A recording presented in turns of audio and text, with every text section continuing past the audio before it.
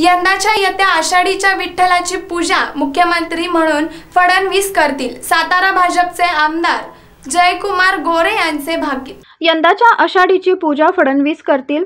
आमदार जयकुमार गोरे महाविकास आघाडी सरकारमध्ये सत्तेत असलेले शिवसेने पक्षाचे मंत्री एकनाथ शिंदे यांच्या बंडानंतर राज्यातील महाविकास आघाडी सरकार अस्थिर झाले असून लवकरच राज्यांमध्ये भाजपाची सत्ता येईल आणि येत्या आषाढीच्या विठ्ठलाची पूजा मुख्यमंत्री म्हणून फडणवीस करतील असे बाकीत सातारा भाजपचे जिल्हाध्यक्ष आमदार जयकुमार गोरे यांनी बोलताना व्यक्त केले आहेत.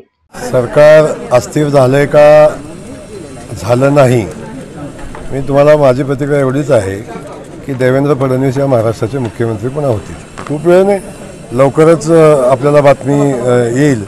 आणि यंदाची आषाढीची पूजा आहे ती फडणवीस साहेब करतील. Bureau report SBN Marathi Satara.